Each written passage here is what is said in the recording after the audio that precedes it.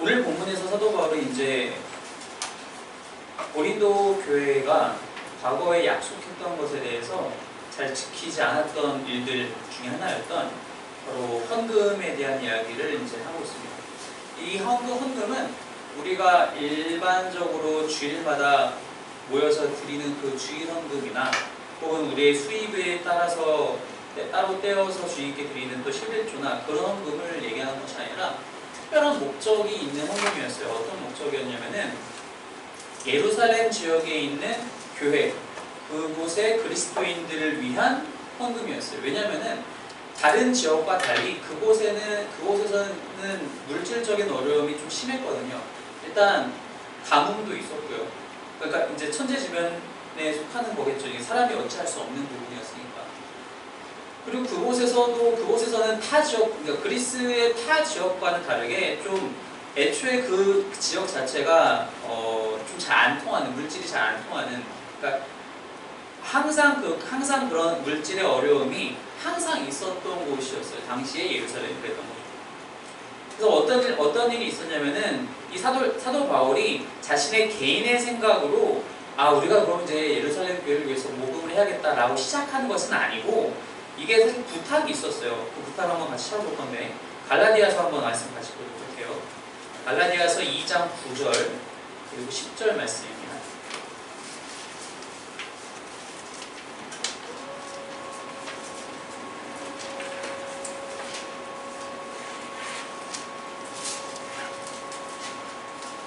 갈라디아서 2장 9절과 10절 말씀 우리가 함께 그 바울 서신 처음 시작할 때 갈라디아서부터 시작을 했었는데 말씀 나누는 것을 한번 같이 읽어보겠습니다. 시작. 또 기둥같이 여기는 야고보와 게바와 요한도 내게 주신 은혜를 알므로 나와 바나바에게 친교의 약속을 하였으니 우리는 이방인에게로 그들은 할례자에게로 가게 하려 합니다. 다만 우리에게 가난한 자들을 기억하도록 부탁하였으니 이것은 나도 본래부터 힘써 행하여 왔노라. 이게 어떤 장면이었냐면은 사도 바울이 이제 2장 2장 첫 번째 이제 뭐라고 얘기하고 있냐면은 14년 후에 내가 바나바와 함께 디도를 데리고 다시 예루살렘에 올라간다니 이제 사도 바울이 바나바와 디도와 함께 예루살렘 예루살렘에 갔어요. 그 예루살렘에 가가지고 이제 그 처음 이제 만나는 거예요. 그 사도들 예수님의 제자들을 만나는 장면에서 이제 서로 이제 확인을 한 거죠. 바울이 이전까지는 그 그리스도인들을 다 핍박하는 사람이었잖아요. 사울이라는 이름을 사용하면서 핍박하는 사람이었잖아요. 근데 그런 사람이 이제 예루살렘에 방문을 했으니 이제 방금 우리가 읽었던 2장 9절 말씀에 야고보, 또 게바, 베드로죠, 요한 이 세 사람이 만나기 만나본 거예요. 이 사람 진짜 회심한 거 맞냐? 만나보면서 바울이 전한 메시지가 어땠는지 또 그것이 우리와 어떤 차이가 있는지 혹은 없는지에 대해서 이제 얘기를 나누니까 괜찮은 거예요. 아, 이 사람 진짜 회심했구나. 진짜로 예수님 만났구나. 확인이 됐고 그러면 이제 우리가 어떻게 함께 사역할 것인가 그렇게 얘기하다가 아 그래 우리는 이미 예루살렘 교회에서 우리가 유대인들을 대상으로 복음 사역을 하고 있으니 바울 너는 지금 너가 이미 하던 것처럼 이방인들을 향해서 더 많이 써줬으면 좋겠다 서로 이렇게 이제 어려운 말로 하면 선교 협약이고 쉬운 말로 하면 그냥 서로 이제 사역을 나눠서 하게 된 거죠. 그러면서 부탁을 합니다. 이 사도들이 바울에게 부탁을 합니다. 그 10절 말씀입니다. 다만 우리에게 가난한 자들을 기억하도록 부탁하였으니 즉 그 사람 사도들이 우리에게 즉 바울 일행들에게 가난한 자들을 기억하도록 부탁하라는 거. 예루살렘에 살고 있는 이 가난한 성도들을 좀, 좀, 좀 기억 좀 해달라. 너희가 다니면서 이 사실을 좀 잊지 말아달라. 그래서 바, 바울은 그것을 어떻게 행동에 옮겼냐면은 바울이 다니는 모든 교회들마다 헌금을 함께 하자. 우리가 어려운 지역에 있는 사람들에게 왜 우리가 왜 헌금을 해야 되느냐? 너희가 그들로부터 복음을 빚지지 않았느냐? 너희는 그 유대인들, 유대인 출신 그리스도인으로부터 복음을 넘겨받았으니 너희는 너희가 가진 것으로 그들을 좀 도울 수 있다. 다 같이 하자라고 해서 이 일을 이제 시작을 하게 된 거예요. 심지어 사도, 사도 바울은 고린도 교회에도 그 얘기를 하면서 정확하게 어떻게 우리가 이걸 했으면 좋겠는가 해서 행동 원칙도 정했어요. 그게 고린도 전서에 나와요. 함께 볼게요. 고린도 전서 16장입니다. 고린도 전서 16장 1절에서 4절 말씀입니다. 찾으시면 함께 읽겠습니다. 시작. 성도를 위하는 연고에 관하여는 내가 갈라디아 교회들에게 명한 것 같이 너희도 그렇게 하라. 매주 첫날에 너희 각 사람이 수입에 따라 모아두어서 내가 갈 때 연고를 하지 않게 하라. 내가 이를 때 너희가 인정한 사람에게 편지를 주어 너희의 은혜를 예루살렘으로 가지고 가게 하리니 만일 나도 가는 것이 합당하면 그들이 나와 함께 가리라. 사도 바울이 이제 고린도 교회에 첫 번째 편지를 보내면서 뭐라고 얘기했냐면은 자 우리가 성도를 위한 헌금을 구제 헌금을 따로 할 건데 내가 이 헌금은 너희한테만 얘기하는 것도 아니고 갈라디아 교회, 교회와 또 기타 다른 교회들에게도 동일하게 명- 명했는데 그만 그 같은 방식도 우리가 함께 하자. 그러면서 2절에 매주 첫날, 그러니까 주일이겠죠, 당연히. 주일에 너희가 각 사람이 수일에 따라 모아두어서, 그러니까 매번 주일마다 따로따로 한번 헌금을 하자. 그래서 내가 어느 날 너희 교- 고린도 교회 방문할 때 그때 부랴부랴 헌금하자고 모이 그- 그때 막 모으지 말고 미리미리 매번 이게 정기적으로 준비를 해놓다가 3절 내가 이를 때 너희가 인정한 사람에게 편지를 주어 너희의 은혜를 예루살렘으로 가지고 가게 하리니 그 이제 그때 이제 다 어느 정도 완성이 되었으면 그걸 들고 이제 예루살렘에 내가 가겠다. 만약에 나도 같이 갈 수 있으면 그때 나도 예루살렘에 가- 같이 가서 직접 전해주겠다. 사도 바울이 이렇게 약속을 하는 거예요. 그리고 우리가 알다시피 고린도 전서 편지를 보내고 그리고 나서 사도 바울이 고린도를 방문을 하고 그리고 나서 고린도 전서와 후서 사이에 있는 편지를 한 번 더 보내고 그리고 또 이제 고린도 후서를 보내는 거잖아요. 디도가 다시 돌아온 이후에 디도한테 좋은 소식도 많이 들었잖아요. 우리가 지난 본문에 같이 나왔다시피 안타까운 소식도 들었는데 그, 그것이 무엇이었느냐? 헌금이 제대로 모이고 있지 않았다는.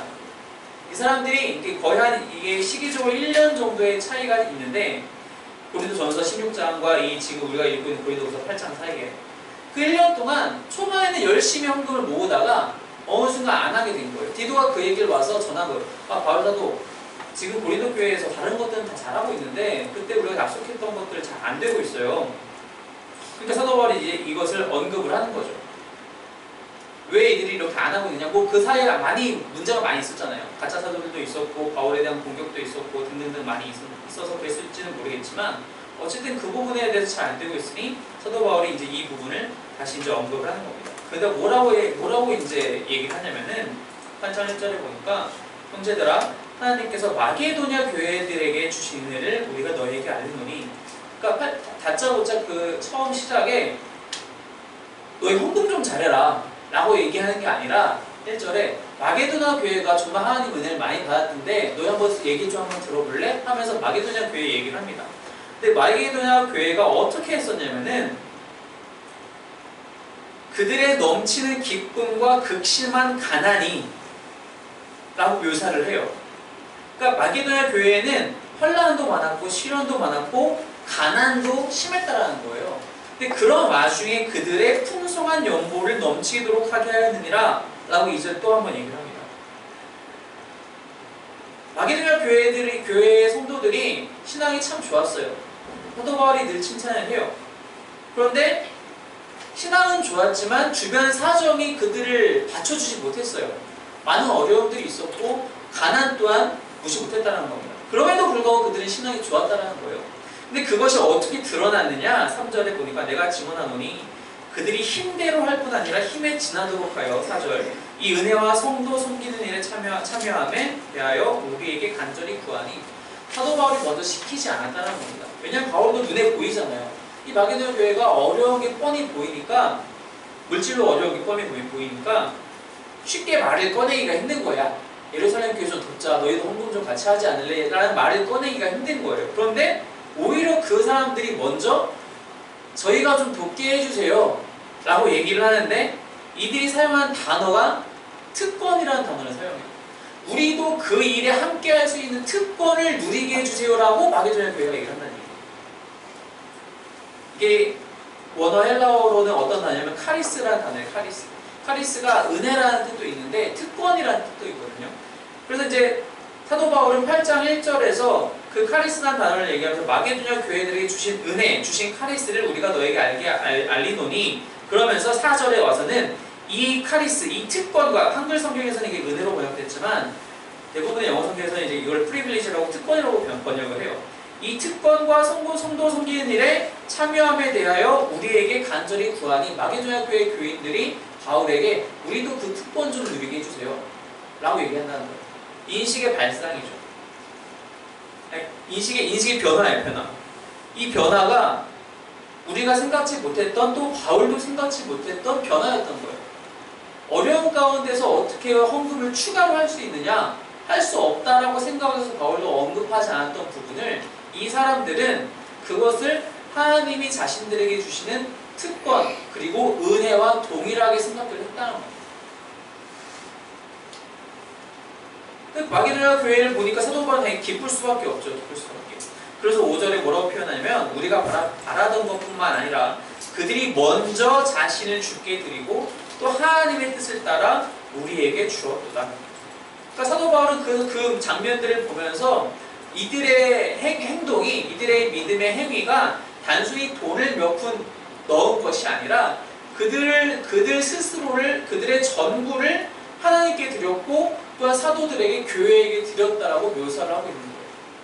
동일한 묘사가 어디서 나오죠? 예수님께서 보건소에서 뭐라고 말씀하시나요? 한 과부가 두 랩돈을 들고 왔을 때 누구보다 가장 많이 드렸다고 얘기를 하세요. 두, 두 개예요. 요즘으로 치면은 200원, 2,000원 정도에 해당하지 않는 돈인데도 불구하고 예수님께서는 그것을 보고 전부를 드렸다고 말씀하시는 거예요. 돈의 액수가 중요한 것이 아니라 그 안에 자신이 하나님을 향한 자신의 마음을 얼마만큼 담은, 담, 담았느냐가 중요하다는 거죠. 근데 바울이 보기에 마게도냐 교인들은 전부를 거예요. 전부를 하나님께 드렸다. 이 이야기를 하면서 고린도 교회 사람들에게 6절에 그러므로 우리가 디도를 권하여 그가 이미 너희 가운데서 고린도 교회에서 시작하였은즉 그 이 은혜를 이 특권을 그대로 성취하게 하라 하였노라. 그러니까 디도에게 특별히 이 부분에서도 언급했다는 이유 스터바울이 먼저 가기 전에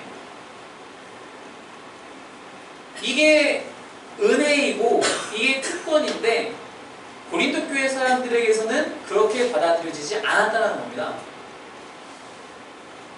이게 오늘날 우리에게도 참 생각할 이야기를 많이 줘요. 왜냐면은 이 카리스라는 단어가 이제 복수 형태로 쓰이면 카리스마타가 되는데 보통 이 단어들을 우리가 신약 성경의 다른 본문들에서 어떨 때 사용하냐면은 은사에 대해서 얘기할 때 사용해요. 우리가 성령의 은사를 받잖아요. 그것이 방언일 수도 있고 혹은 긍휼과 섬김일 수도 있고 믿음과 기도일 수도 있고 지혜일 수도 있고 다양합니다. 이 은사를 동일한 단어로 그 카리스 그 동일한 단어를 은혜 특권으로 생각하면서 마게도냐 사람들은 어떻게 했느냐 그것을 남들 남을 위해서 돕는데 사용했다는 거예요. 그런데 고린도 교회 사람들은 그러지 못했다는 겁니다. 어, 어떤 상황에서 그러지 못했느냐? 그게 7절에 나오죠. 7절에 오직 너희는 믿음과 말과 지식과 모든 간절함과 우리를 사랑하는 이 모든 일에 풍성한 것 같이 고린도 교회에 없는 게 없었어요. 고린도는 지역 자체가 돈이 많은 지역이에요. 거기다 항구고 그게 이제 큰, 큰 바다를 양쪽으로 두고 있는 그 길목에 있는 섬이었, 그 지역이었기 때문에 거기가 배가 항상 드나드는 곳이고 돈이 넘쳐나는 상업 지역이에요. 돈만 넘쳐나냐? 그리스 사람들의 특성상 지식에 대한 갈구함도 엄청났었고 그런 사람들이 교회에 오다 보니까 교회가 회심해서 교회에 오다 보니까 그런 말씀을 더 탐구하는 것에 대해서도 풍성했었고 그래서 그리고 고린도 교회 사람들이 그런 사람들이 바울과 만나서 바울의 사랑을 깨닫고 하나님의 사랑을 깨닫고 그 사랑을 나누고서 풍성했지만 정작 자신이 갖고 있었던 것들을 남들에게 나눠주는 것에 있어서는 풍성하지 않았다는 겁니다. 바울이 그것을 이렇게 돌려서 얘기를 하고 있어요. 이 은혜에도 풍성하게 하죠. 너희가 다른 거 다 풍성한 것처럼 너희가 이렇게 남들에게 주는 것에도 베푸는 것에도 풍성했으면 좋겠다. 그러면서 이것이 강제가 아니라면서 8절에 내가 명령을 하는 말이 아니오. 오직 다른 이들의 간절함을 가지고 즉 마게도냐 사람들의 그런 은혜의 간절함을 너희가 보, 면서 너희의 사랑의 진실함을 증명하고자 함이로라. 즉 이것이 다 고린도 교회 사람들을 위한 것이라고 바울은 애둘러서 표현을 합니다. 물론 속으로 어떻게 어떻게 말했는지 모르겠지만 제 저는 저는 모르겠어요. 저는 마음이 꼬여서 그렇게 들리는지 모르겠지만 바울이 상당히 돌려서 돌려서 때리는 것 같아요. 근데 어쨌든 이 바울의 바울의 중요한 그 주제 이, 이 이야기 초점 중에 하나는 이렇게 함으로써 고린도 교회 사람들의 믿음과 하나님을 향한 사랑이 드러날 수 있다는 것을 알려주는 거예요. 혹시 몰랐다는 이들. 그래서 그들이 하나님을 살아가는 것에 대해서 더욱더 분명하고 구체적인 디테일한 그 사랑의 실천들의 행동 요소들을 보여주고 있다는 거예요. 너 이렇게 하면 돼. 어찌할 줄 모른다면 너희가 받은 사랑을 어떻게 실천할 줄 모른다면 이게 바로 그거야. 라고 사도 바울이 새롭게 또 가르쳐주고 있다는 거죠. 고린도 사람들이 그것을 잘 안 하고 있었기 때문에 혹은 몰랐었기 때문에 오늘날 우리가 성령의 은사를 받는 이유도 간단합니다. 내가 잘나기 위해서가 아니라는 거예요. 내가 그것을 통해서 어떤 무언가를 남겨먹기 위해서가 아니라는 겁니다. 우리가 은사를 받는 이유는 하나님께서 우리에게 은사를 주시는 이유는 하나님을 위해서 교회를 위해서 성도를 위해서라는 거예요. 나 자신의 나 개인의 영광과 영달을 위해서 주시는 것이 절대로 아니라는 겁니다. 우리는 때때로 헷갈려해요. 방언을 주시면 아, 나 방언 정도 할수 있구나. 아, 내 레벨, 레벨이 좀 올라갔네. 내가 그걸 좀더 더 큰 은사들을 받아서 혹이 혹여나 치유의 은사라도 받게 되면 나 좀 잘 나가는데 나 좀 잘 믿나 봐. 어디 가서 좀 이런 걸로 기도 좀 해주고 사람들한테 좀 어깨 좀 으쓱으쓱 할 수 있겠는데 처음부터 그러지 않겠지만 사람들이 그런 그런 은사들이 하나둘 쌓이다 보면 어느 순간 변하게 돼요. 어느 순간 처음부터 그러지 않더라고요. 그것이 이제 돈벌이로 가고 영광으로 자신의 영광을 좀 쫓는데 가게 된다는 거예요. 그러나 하나님께서 우리에게 주시는 이유는 오직 하나님과 교회와 성도들을 위해서 주신다라고 우리가 잊으면 안 된다는 겁니다. 이것을 잊은 사람들이 바로 고린도 교회 교인들이었고 그들이 그렇게 지식을 갈구했으나 정작 즉 그 지식이 진짜 무엇을 요구하는지는 알지 못했다는 거예요. 그래서 사도 바울이 다시 설명해줘요. 9절에 우리 주 예수 그리스도의 은혜를 너희가 알거니와 이게 참 의미심장해요. 너희 이미 알지 않냐 예수 그리스도의 은혜가 무엇인지. 그게 그게 뭐예요? 부요하신 이로서 너희를 위하여 가난하게 되심은 그의 가난함으로 말미암아 너희를 부요하게 하려 하십니다. 그러니까 바울은 이 오늘 오늘의 본문에서 두 가지 본보기를 드는데 그 첫 번째가 바로 마게도냐 사람들의 본보기였고 두 번째 본보기가 예수님이었단 말이에요. 마게도냐 사람들은 가난한 중에서도 예루살렘 교회를 섬겼어요. 그들이 한 믿음의 한 가족인데 어려움에 처했기 때문에 자신이 지금 부족하다 하더라도 두발 먹고 두손 나서는 거예요. 예수님도 마찬가지였던 거죠. 예수님은 말 그대로 모든 걸 다 가지신 분이었어요. 부유하신 분이었어요. 이게 이게 이제 한글로는 잘 드러나지 않는, 않는데 이제 고대 언어에서 조금 복잡해요 거 그래서 조금 어려운 얘기를 하자면 바울이 여기서 단어를 이 말을 문장을 쓸 때 뭐라고 표현했냐면은 부요하시니라고 예수님은 부요하신다고 얘기할 때 그 시제가 변하지 않는 시제, 그러니까 영원한 거예요. 이전부터 이후까지 예수님은 항상 부유하신 분이다라는 것을 표현하고 있는 거예요. 근데 이제 그분이 가난하게 되셨다라고 얘기할 때는 뭐라고 썼냐면은 일순간 가난해지신 거예요. 그게 언제냐? 십자가 사역과 선유신이라는 겁니다. 예수님이 이 땅에 오셔서 십자가 사역을 지시는 그 기간이 사도 바울이 보기에는 가난하게 되신 시점이라는 겁니다. 그것을 사도 바울이 다른 본문에서 어떻게 표현하느냐? 빌립보서 말씀 한번 함께 볼게요. 오늘 아침에 함께 봤었는데 빌립보서 2장 6절에서 8절 말씀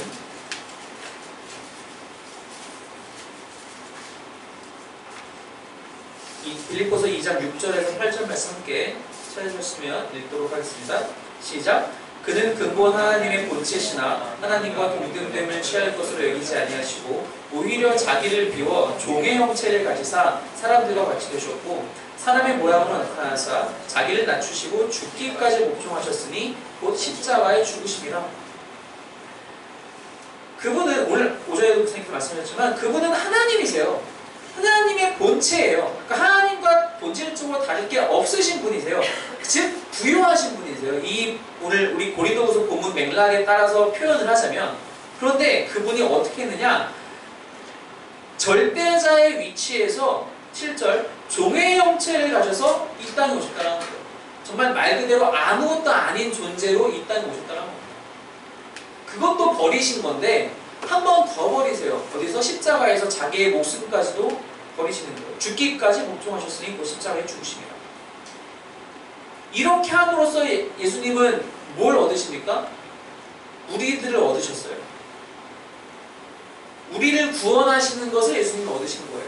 우리는 예수님의 그 가난해지심을 통해서 예수님의 부유하신 예수님께서 그 부유하심들을 다 포기하심으로 통해서 우리 같은 여기의 맥락의 표현을 따르자면 우리 같은 거지들이 하나님의 의로 거예요.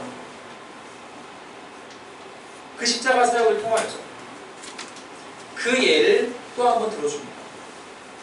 이게 참 아이러니하다는 거예요. 알, 아는데 고린도 교회 사람들은 구절 전반부에 바울이 얘기한 것처럼 주 예수 그리스도의 은혜를 너희가 알거니와 아는데 행동은 안 하고 있다는 거예요. 10절 이 일에 관한 뜻을 알리노니 이 일은 너희에게 유익함이라 너희가 1년 전에 행하기를 먼저 시작할 뿐 아니라 원하기도 하였음 즉 아까 그 고린도 전서 16장 얘기를 하는 겁니다. 이제는 하던 일을 성취할지니 마음에 원하던 것과 같이 완성하되 있는 대로 하라. 강요하지 않는다는 거예요. 너희가 마게도냐처럼 마게도냐 사람들처럼 막 억지로 막 쥐어짜서 할 필요는 없다. 마음에 있는 만큼만이라도 해도 그것이 너희에게 분명히 유익할 것이다. 이것은 그들에게 너희들이 앞으로 복받을 것이다. 너희가 앞으로 승진할 것이다. 땅을 더 사게 될 것이다의 유익이 아니라 너희가 하나님 안에서 유익할 것이다. 너희의 믿음을 너희 스스로도 확인하고 하나님을 향한 사랑을 하나님이 너희를 향한 사랑을 다시 한번 확인하게 됨으로써 너희에게 분명히 너무나도 큰 유익이 있을 것이다. 너희가 지금까지 머리로만 알았던 그 지식들을 체험하게 됨으로써 확실하게 하나님의 사랑이 무엇인지 너희들의 믿음이 무엇인지 알게 되는 그 유익이 있을 것이다. 원래 우리에게도 동일하게 얘기할 수 있어요. 이 우리가 은사에 대해서 얘기할 때 우리가 무언가를 받고 거기에 많이 집중하지만 사실 은사에는 주는 은사가 있더라고요. 내가 남에게 베푸는 은사가 분명히 있더라고요. 내가 뭔가 받아서 다 내 안에 채우려는 것만이 은사가 아니라 그게 은사일 수도 없겠거든요. 오히려 준다라는 겁니다. 마게도냐에는 어려운 사람이 없을까요? 있었겠죠. 그 헌금으로 오히려 마게도냐에 있는 어려운 사람을 도왔을 수도 있었겠어요. 그러나 그들은 그것이 먼저라고 생각하지 않았어요. 믿음 안에 더 어려운 사람들이 있다면 그것이 어디가 되었건 사실 마게도냐 사람들이 예루살렘 교회 성도들 얼굴, 얼굴이라도 한번 봤을까요? 아니요. 단 한 번도 보지 못했고 단 한 번도 그들의 이야기를 들어본 적이 없어요. 다만 바울이 와서 얘기를 하니 얼굴도 모르고 들어본 적도 없는 사람들이 어렵다고 믿음을 함께 나누고 있는 믿음의 형제들이 그럼 돕자. 그게 은사라는 겁니다. 그게 하나님의 은혜고 그게 하나님의 특권이라는 거죠. 우리가 지금도 우리 스스로를 돌아보면은 가진 게 없어요. 내, 내가 있는 게 없는 것 같아요. 그냥 길거리 돌아다니다 보면은 나보다 잘 사는 사람 엄청 많은 것 같아요. 나 정말 좋은 차 많이 다니더라고요. 어떻게 이렇게 다 잘 사시는 분 많은지. 어쨌든. 다 나보다 잘한 것 같아요. 다 나보다 많이 배운 것 같고, 다 나보다 힘도 센 것 같고, 나는 없는 것 같아요. 누가 날좀 도와줬으면 좋겠어. 근데 아니에요. 우리는 이미 하나님께로부터 받은 게 너무너무 많다는 겁니다. 복음 하나만으로도 충분한데 우리는 이 자리에 나올 수 있는 건강도 있고요. 우리는 오늘 하루 먹고 살 수 있는 돈도 있고요. 가서 집에 가서 잘 수 있는 집도 있어요. 우리는 이미 받은 게 많아요. 근데 이것을 주기를 아까워해요. 왜? 우리가 그리스도 예수에 대한 은혜를 진심으로만 알고 있어서 그렇다. 이 은혜, 예수님이 정말 말 그대로 모든 걸 다 포기하시고 주신 은혜, 그 은혜를 우리가 알고 있다면, 제대로 알고 있다면, 이 은혜에 동참하는 것이 특권이라고 우리가 인식을 한다는.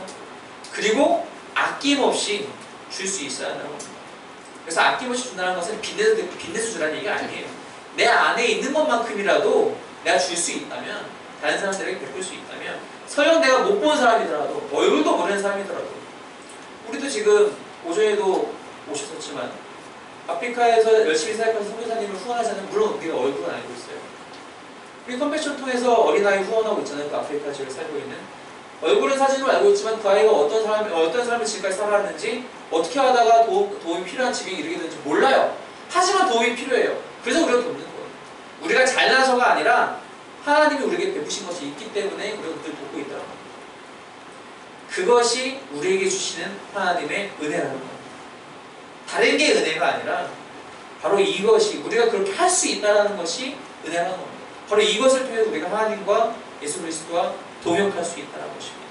단순히 가만히 앉아서 바라만 보는 것이 아니라 하나님의 귀한 사역에 동참할 수 있다는 것을 깨닫고 늘 이 이 일 가운데 함께 하시는 이 특권을 날마다 누리시기를 주님의 이름으로 축원합니다. 자, 이렇게 기도하겠습니다.